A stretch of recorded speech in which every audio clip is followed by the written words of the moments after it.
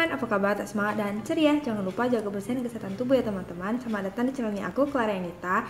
Di video hari ini aku bakalan bahas dua moisturizer atau pelembab. Ini yang pertama Emina Miss Pimple Acne Solution Moisturizer Gel Daily Moisturizer with Rose Bay Willow Herb Extract to battle acne causing bacterial growth. Miss Pimple Moisturizer Gel adalah teman sehari-harimu untuk merawat kulitmu yang cenderung mudah berjerawat. Lawan bakteri penyebab timbulnya jerawat dan kurangi kemerahan dengan ekstrak rose bay, willow herb, mengandung SPF 15 untuk melindungi kulit dari sinar UV sekaligus memberi kelembapan pada kulit. Cara pakai gunakan setiap hari pada seluruh wajah untuk mencegah kulit kering. Ini harganya 19.200. Ini tuh udah habis. Jadi namanya moisturizer gel, tapi menurut aku tuh dia lebih kayak krim gitu.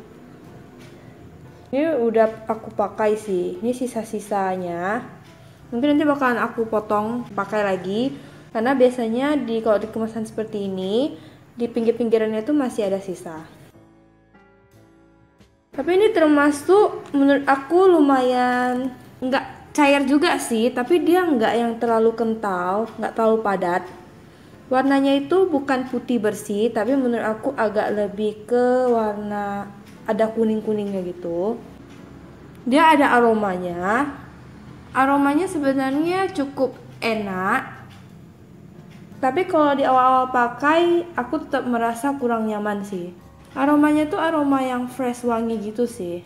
Aku tuh ganti pakai moisturizer gel dari Emina. Setelah sebelumnya tuh aku pakai dari berbagai merek yang harganya jauh lebih mahal dan akhirnya aku coba pakai yang harganya lebih terjangkau dari Emina ini dan ternyata cocok-cocok aja di kulit aku. Kalau di wajah aku sendiri yang Emina Acne Solution ini dia itu enggak yang gimana-gimana gitu sih, enggak bikin wajah aku kering, berjerawat juga enggak, bikin wajah aku lebih lembab dan lebih gimana gitu juga enggak sih. Menurut aku sih biasa aja hasilnya. Kurang lebih hampir sama dengan pelembab-pelembab yang aku beli harganya jauh dibandingkan ini sih.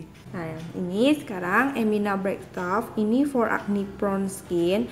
Jadi dua-duanya ini adalah untuk acne untuk yang kulit berjerawat. Yang ini moisturizer cream dan dia memang cream sih menurut aku. Dia warnanya putih dan lebih padat dibandingkan yang moisturizer gel aromanya menurut aku juga nggak terlalu kuat nggak sekuat yang moisturizer gel.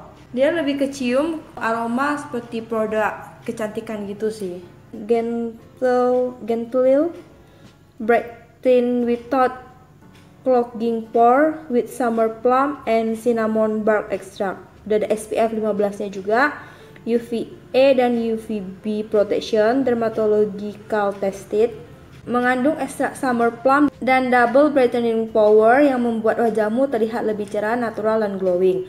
Juga diformulasikan khusus dengan ekstrak cinnamon bark yang dikenal sebagai sebum regulator dan shooting agen yang baik untuk kulit rentan berjerawat, menjadikan kulitmu tetap sehat dan terasa lembab. Non komedogenik, non acnegenik. Cara pakai gunakan setiap hari untuk mengurangi kulit kering. Gunakan sebelum make up. Yang ini harganya 25.000. Ini isinya 20 ml, ini juga 20 ml. Yang moisturizer gel. Ini yang break stuff. Ini yang Miss Pimple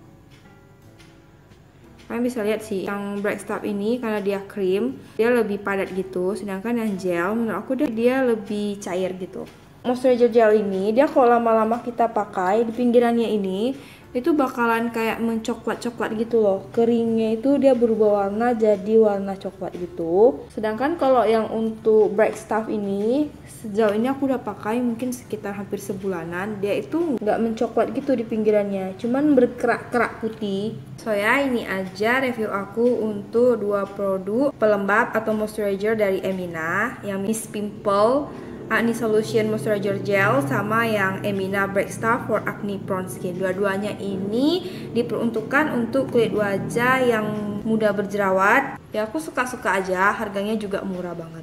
Semoga video ini bisa membantu dan menghibur teman-teman. Kalau teman-teman suka jangan lupa untuk klik like, comment, subscribe, dan share. Sampai jumpa di video selanjutnya. Dadah!